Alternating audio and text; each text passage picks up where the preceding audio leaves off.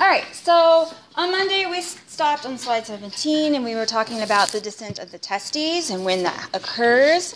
Um, so that might be a really easy question that I could ask you. Like, do, do most infant boys are they born without their testes descended or do they descend at puberty? Um, so you should know when they descend. It's in development in the uterus. So between 14 and 28 weeks, the majority of male fetuses have their testes descend, and almost 99% of them have descended prior to birth. So remember that.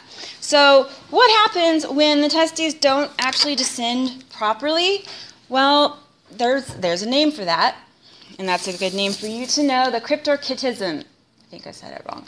Cryptorchidism. There we go.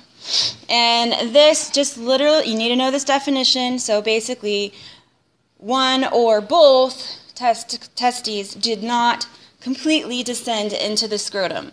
And they can be in multiple different positions in the abdomen, in the inguinal canal. They're partially descended at the beginning of the scrotum. And so there's many different places where the testes can get stuck in those inguinal canals and not descend properly if that's not fixed, then that person who has incomplete or undescended testes will not be able to have viable sperm. The sperm needs to develop at a colder temperature than your body's core temperature. So a person with cryptorchidism is most likely going to get a, a, a surgery to help with the descent of the testes so that they'll be able to reproduce as an adult. Okay, sperm cell development, we call that spermatogenesis. So you definitely need to know what that term is. spermatogenesis occurs in the seminiferous tubules of the testes. Okay, so you need to know where it occurs. And we're not going to go through the, every single little step of the development of a sperm, but you need to know where it is where it is created, what's the term for the production of sperm, and also neat little little information for you is that it takes about around 74 days from the very beginning of a sperm's life to where it is finally mature. So each sperm takes essentially about two and a half months to mature fully. That's actually, for me, And when I first found that out, I thought that was surprisingly long, considering how much sperm can be ejaculated at a time millions and millions. Okay? Um, sperm cell development. So remember that they are produced in the seminiferous tubules. And there are two types of cells, okay? So sustentacular cells and germ cells. The function of these sustentacular cells, notice another term for that is nurse cells, but most commonly sustentacular. These, they're there to help these budding uh, sperm cells. When they're at the beginning of this process, we call them germ cells. It helps to nourish them. They might produce hormones as well. They also help form, which is really interesting, look at this blood testes barrier. So, the only other place in our body where we have like a blood barrier is a blood brain barrier. And we all have this. But with males, you have sustentacular cells that actually help form a blood testes barrier because your body, should your the sperm enter your own bloodstream on accident for some reason, your body would recognize your sperm as foreign and it would attack it. And so this is why we have, well, while the males have this blood sperm barrier or blood testes barrier to prevent your body from attacking your own sperm cells. Because your, your body would say they don't belong. So it's kind of an interesting, kind of a neat thing there. Um, so your body would not recognize your own sperm. And then the second is germ cells, which is essentially your developing sperm. Okay, testosterone is a really, really big hormone in the male reproductive system. And please note, it is produced by what we call these interstitial cells those are found within the testes. So interstitial literally means in between So these are cells that are in between other cells and they're producing testosterone. And what is the big deal about testosterone? Well, I started, it's bolded and italicized. Testosterone and receptors for testosterone are required for the sustentacular cells to function normally. Okay, so what's the big deal with the sustentacular cells? Well, the sustentacular cells, when the testosterone binds to them, it actually converts testosterone to what we would call dihydrotestosterone and also converts testosterone into estrogen. Okay? So, those two hormones we would consider the active forms of that hormone. And so, yes, indeed, you do have estrogen in your system, males. Hey, and females, you have testosterone in your system. We each, so females need a little bit of testosterone to function properly with the reproductive system, etc. And the same with males needing a little bit of estrogen as well. Now, there's always that thing of when you have too much of the wrong hormone, then you have problems. so we're skipping 22, we're skipping 23. Okay, um, we're skipping this one too. Just okay. So sperm. We're not going to spend time on sperm division, sperm division and development right now, but we need to talk about the anatomy of the sperm. There are three major sections to the sperm. You have the head. Let's see. There's the head.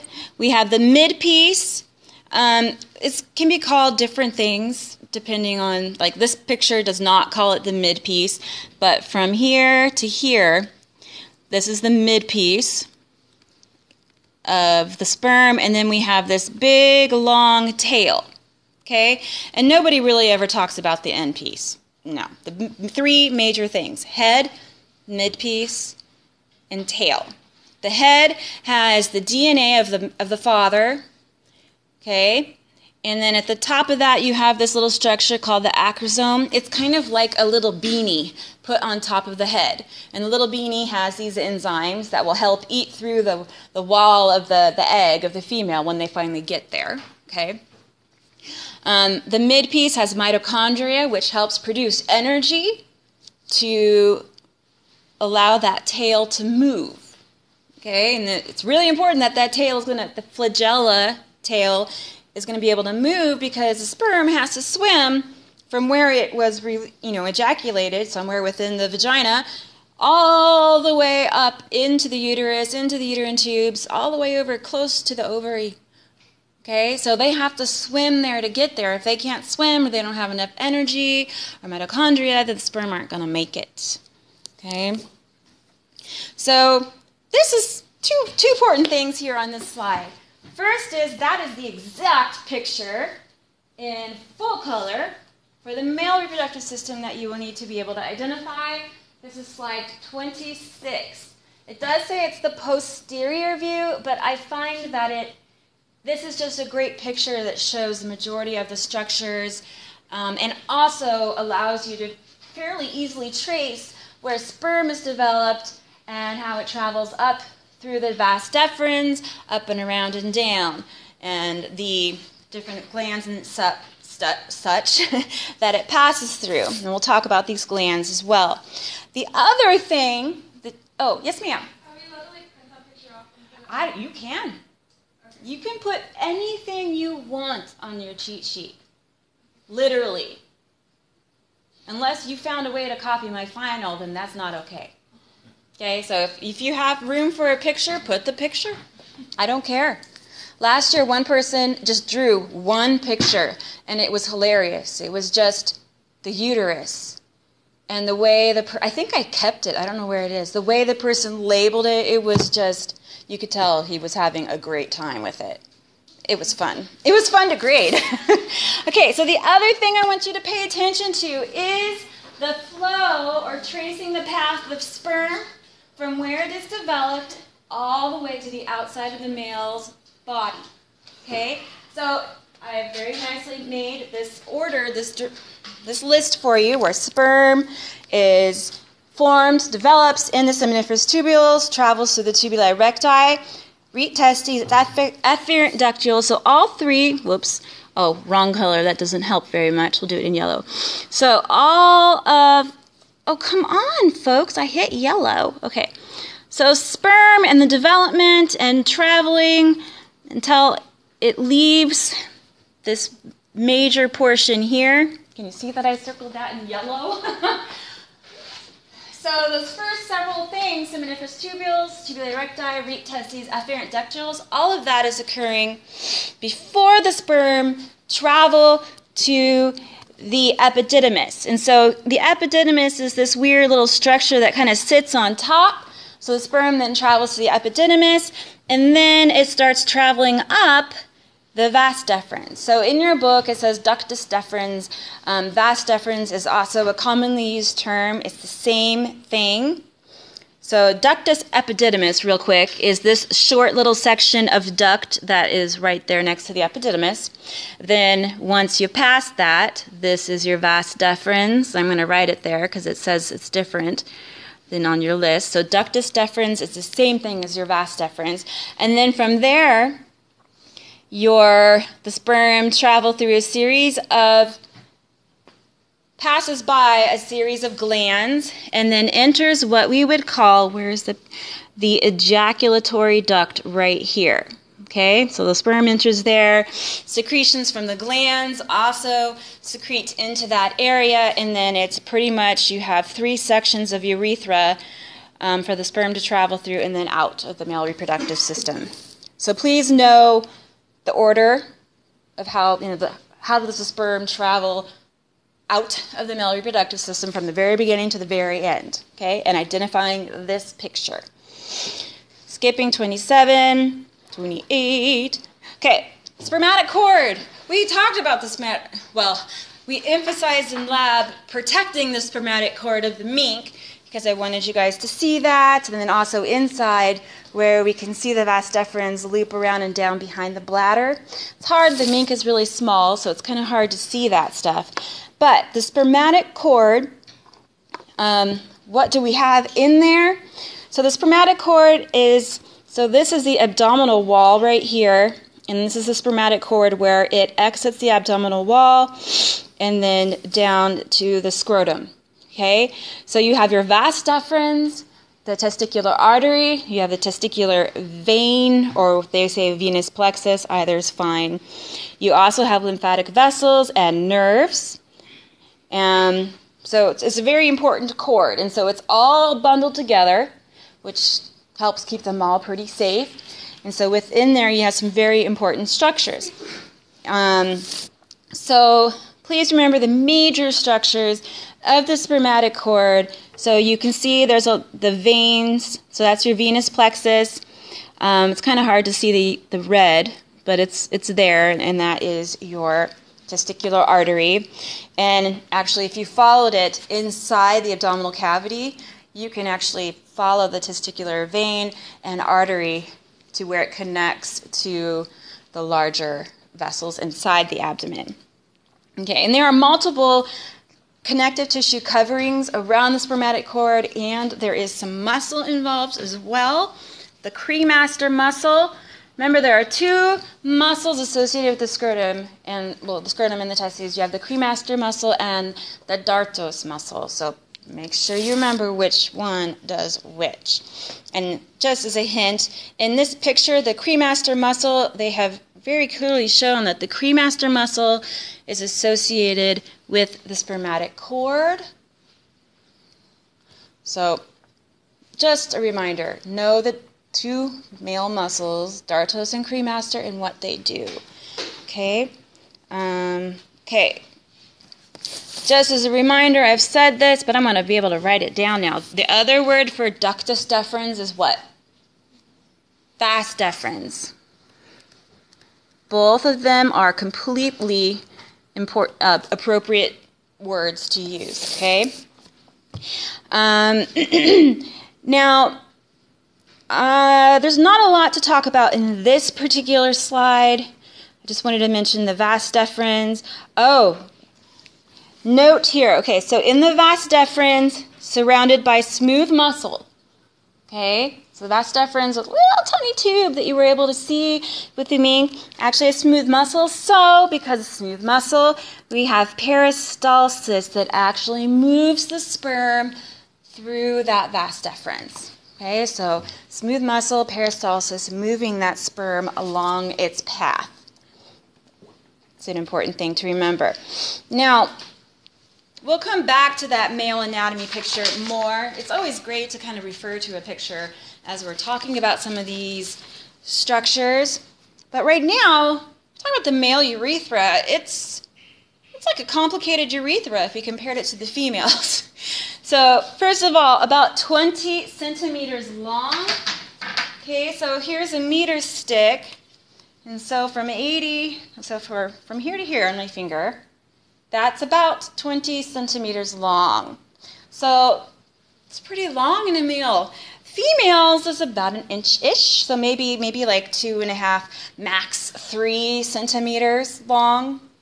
Major difference there. Any ideas, real quick, um, of what kind of thing could affect? No, I'll come to that later. Okay, so first of all, three parts to the male urethra. You have the prostatic urethra, membranous urethra, and then spongy or penile urethra. So the prostatic one is the first one that the sperm come in contact with. Okay, and it's short, and it's connected to the bladder. Okay, and then it passes right through the center of the prostate. The prostate is like the size of a walnut, but it's like a walnut donut. So there's a little hole in the middle, and that the urethra passes right through the center of the prostate. And so that's why if your prostate enlarges, it's going to put pressure on the urethra, which then causes you know urinary issues like frequent urination or needing to urinate and not able to because the prostate is kind of squeezing off the urethra. Okay, the second one, membranous. This actually this is the shortest section, and this is from the prostate to the perineum, which is basically the floor, the pelvic floor. And then last is the spongy or penile urethra, which is the longest part, which extends from basically your pelvic floor all the way to the end of the penis. Okay? And so that is definitely the longest one. Each area actually is lined with a different type of tissue, different type of epithelial cell. So notice that most of it, though, is lined with stratified columnar epithelium, so it's thick walled. Because columnar is it's it's really thick. Okay, and then you have transitional epithelium in the prostatic urethra. So within the prostate area, you have transitional epithelium. What's the purpose of transitional epithelium? Remember, it's in the bladder, it allows for stretching. Yeah, so there must be something going on there in the prostate. Think about that. And then near the opening of the spongy urethra, down near the end of the opening, or I guess the end of the tip of the penis, you're going to have a different type of cell lining the inside of the urethra, stratified squamous. And so remember, we only find stratified squamous in areas where we expect there to be a lot of uh, friction or cells rubbing off. And so kind of makes sense that at, near the tip of the penis that the urethra there would be lined with that type of tissue. Okay.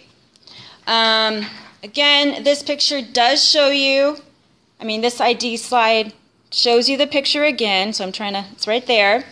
Um, and then you also can see a cross section of the penis. And so, really quick, we need to, there's erectile tissue in the penis and two major types of erectile tissue.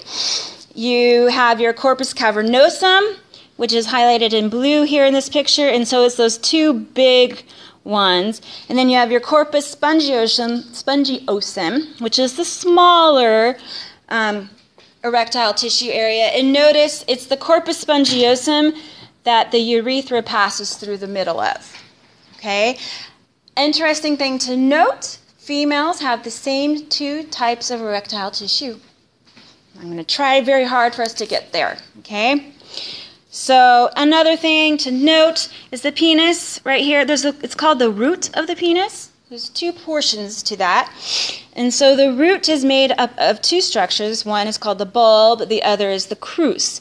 So the bulb is kind of this rounded portion of the penis, and then the crus is kind of more this kind of pointed end here. Those two together make up the root of the penis, which would be inside the, the body wall. Okay, accessory glands, there are three major ones that sperm pass through, or no, that's not the right way to say it. I'm sorry. There are three major glands that secrete their products into the sperm, okay, for very important reasons. So, first is the seminal vesicles. And so, first of all, what do you need to know? You need to know the name of the gland. You're going to have to be able to identify it Okay, to name the gland, you need to know what effect does the secretion from that gland have? What's the purpose of it? Okay, so seminal vesicle, it has a very important job. So, first, it secretes, well, it does give you, oh, that's the wrong color, fructose and citric acid, fructose actually is how you say it. That gives energy for the mitochondria to move the flagella, so energy for the sperm to move. But what does it do to the female reproductive tract? You have fibrinogen that's secreted, which causes kind of coagulation. And then it also secretes prostaglandins, which will cause or can cause contractions of the uterus. You want contractions of the uterus if you're trying to reproduce. It helps move the sperm further into the female reproductive system. The second gland is the prostate gland, and so the secretion is high in pH, which means it's very basic, and it does that because within the female's reproductive system, in the vagina region, it's more acidic. So you want to have a basic solution to kind of neutralize the acid in the female's reproductive system. The acid is there to try to kill your sperm but prostate gland secretes a basic solution to neutralize that, and also clotting factors that help with that coagulation of the, of the semen. The semen is the sperm and everything in it. The last gland is the bulbourethral glands, and these are just mucus glands. mucus is used for what? Let's think lubrication, yep. Okay, so lubrication. And also because the vagina is acid or acidic, mucus is basic, it also helps with reducing the acidity in the female's reproductive tract so that the sperm can live. Okay, so here are the percentages of the contents you would find in semen. Semen is the sperm with all of the secretions from the glands. Okay, so a very small amount of the semen actually is made up of the sperm. Most of it is secretions from those other glands. So please note this right here. So the products from the testes, which is mostly sperm, is only about 5%. Um, and I think that's the big point from this slide. I'm trying to move along, so we need to do some female stuff. Um, regulating of sex hormones is the same with females and males. Both are regulated by luteinizing hormone and follicle stimulating hormone. You find them in both sexes. And they have very, very, very similar functions as well. And because these are secreted from your anterior pituitary, this means the hypothalamus is sending a releasing hormone to your anterior pituitary and then telling it to release luteinizing hormone or follicle stimulating hormone. So, in males, what does luteinizing hormone do? Well, right here, it binds to those interstitial cells. Remember, the interstitial cells make testosterone. So, when luteinizing hormone is released, it binds to those interstitial cells and causes an increase in testosterone production. Cool. If follicle stimulating hormone is released in the male reproductive system, it acts right there on the seminiferous tubules and causes or more production of sperm. Oh, that was weird. Okay. Um, regulation of sex hormones. Oh, let's see. This, this is actually not one we need to worry about. Let's see here. We already know. We're skipping. We got to get to the female before it's too late. Puberty. Okay, remember when I told you the difference between primary sex characteristics and secondary sex characteristics? Primary is what you're born with. Secondary is what occurs during puberty. Yay! Um, but while you were an embryo and a fetus in your mother's uterus, the placenta was secreting human chorionic gonadotropin, okay, which helps to um, support the pregnancy, but also, look at this, stimulate synthesis and secretion of testosterone by the fetus before birth. As soon as the baby is born, there is no more testosterone production at all until puberty. None. Okay? And so that testosterone present during development in the uterus helps with those primary sex characteristics. It's very important. And then pretty much no testosterone until puberty, and then all sorts of lovely things start to occur. Okay. Um, effects of testosterone, we've talked about this. We don't need to go into detail with this. Just primary and secondary sex characteristics. I know I'm skipping some stuff, but we've got to talk about the females. We don't have a lot of time. Um, so, really quick about the erectile tissue of the penis. Okay. Um, there's two things that are kind of happening as the male reproductive system starts to get stimulated. Um, NO actually means nitrous oxide. So that starts being released and acetylcholine. And what they do is they actually, oh, it's hard to say, they, they cause blood to fill up the, they call them sinuses, but the erectile tissue areas with blood. And it prevents blood from leaving the connect the the erectile tissue. So it causes blood to continue to be pumped into the penis or the, the erectile tissue of the penis, but the veins constrict and prevent any blood from leaving. So as blood continues to enter and none can leave, then it causes that erectile tissue to fill up and kind of then leads to an erect penis. Okay. Um, okay, females. Sorry, we're going to try to get as much as we can, least the important parts of the anatomy. We will not have time to talk about her reproductive hormone situation, which I know you're very much bummed about because it's complicated. So there's a lot of structures involved with the female reproductive system. Some are internal, you can't see, and others are external. Um, so ovaries, the uterine tubes, the uterus, the vagina, external genital, genital organs, so like the labia majora and minora, the clitoris, um, and mammary glands. So, mammary glands are considered part of the female reproductive system because their job is to feed, to provide nourishment to their infant that they had developed in their own body.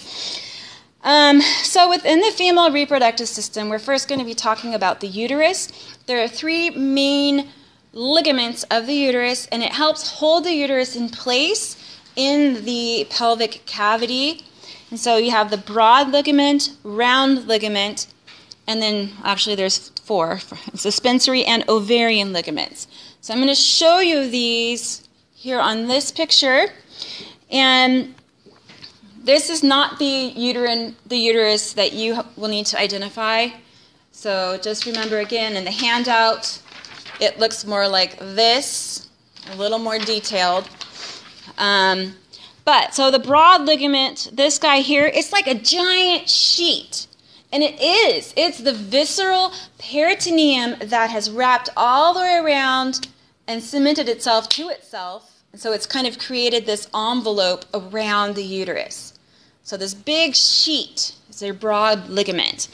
Then you have a suspensory ligament, which it's pretty small, but it, it also encapsulates the ovarian artery and ovarian vein. You also have, let's see, a, a round ligament, which I got normally you can't see it, you don't notice it until you become pregnant. So that's why I put this picture here of a pregnant woman to illustrate several things. Look at how much space is taken up by that growing fetus. A lot. Okay, here is the round ligament. Normally it is not stretched like that. It's usually it's, it's pretty happy when the uterus is just doing its thing every single day, but if someone is pregnant and the uterus is growing, it's stretching out those ligaments. And unbeknownst to me until I became pregnant, I didn't know that it's very common for pregnant women to feel little sharp pains as their broad ligament is stretching. I actually was so worried. I called my doctor. I'm like, I'm having so much pain. And they're like, oh, it's just the ligaments. Don't worry about it. They were right, but it's like, what? So, ligaments are very important. Your uterus has to be held up into place. If your ligaments fail, you could deal with something called a prolapsed uterus, which means it starts to fall down inside the vagina. Okay, we don't want that to happen. Okay. So the equivalent of the male testis is the female's ovary. And this is where her eggs are developing. And unlike males, the females are born with all of the eggs they will ever be ever have. And most of them they'll never even use. Throughout their lifetime, at most, they might ovulate 400 eggs in their lifetime. While in one ejaculation, a male maybe ejaculates 5 to 10 million sperm. Think about that. Okay. Um, I'm not going to ask you to identify the anatomy of the ovary, but note that there are two major sections. You have a cortex, the outer layer, and then you have your medulla. And what you find in those two regions are different. And so developing eggs or oocytes, it's happening in the cortex. Okay. Um, see. Getting to the important stuff. Okay. Ovulation, just so we remember what ovulation is, is when that mature egg, let's see if I can find a picture for you real quick. Can I blow this up a little bit? Okay. Come on. Come on, come on, come on. Okay, so in this picture, if you follow that, kind of follow it this way and around, as an egg matures, the egg gets larger, and then this kind of follicle, this round thing surrounding it, gets larger and larger and starts to fill up with fluid. Okay? And then you have your egg, and it's surrounded by cells. Those cells that surround the egg right there, we call those little cells, there we go, the corona radiata. When you have all the cells pushed to the side and the rest of the follicle is filled with fluid, it's ready for ovulation. Ovulation is when the egg actually bursts free from that follicle and is released from the ovary. And it will have those little cells still attached around it, the corona radiata. Okay. Oh, wait, back up. Okay, so after ovulation occurs, after that egg is released, um, we now call it we call it a secondary oocyte, and it's ready to be fertilized. The moment it's released, you can fertilize it if there's sperm there. So fertilization happens when a sperm is able to actually bind and penetrate through the plasma membrane of the oocyte. Okay, and what's really cool is that once one sperm gets in there, the wall of the egg, the oocyte, becomes impenetrable. So you can't get more than one sperm in there. It immediately like makes it impenetrable after one sperm enters, which is good. You don't want to have um, extra sperm, extra genetic material, which could actually cause problems. Um, this picture here, I'm just going to show you real quick. This is showing a mature developing follicle. You have your egg and you have your fluid filled cavity called the antrum. And as that continues to get larger and larger, it will be ready to ovulate. Oh, guys. Okay, this is a great picture. It talks a little bit about a little bit more about ovulation. I like this one because it gives you an actual real-time picture. Here's the egg. This is the ovary, and it's actually bursting free in that picture. So that's literally ovulation. And so when an egg ovulates, you could release a little bit of blood, the fluid that was in the follicle with it, and then most importantly, that egg, the oocyte.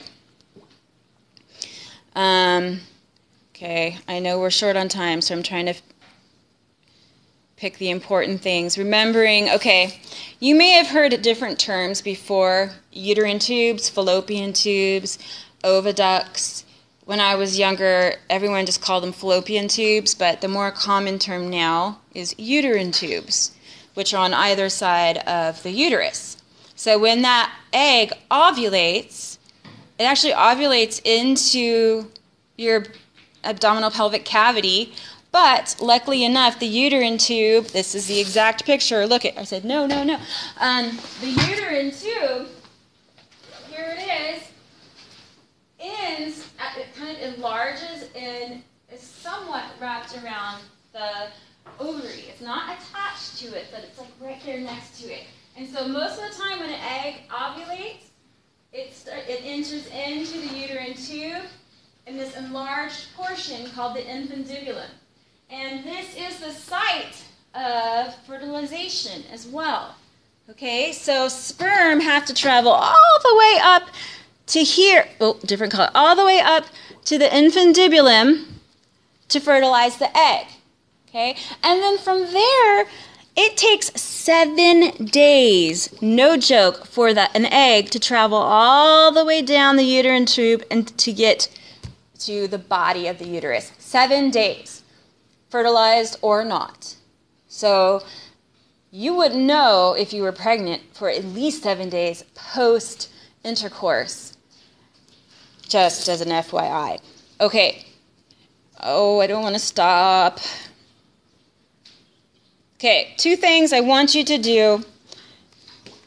Know the three layers of the uterine tube, so they're right here. You, it's not not hard.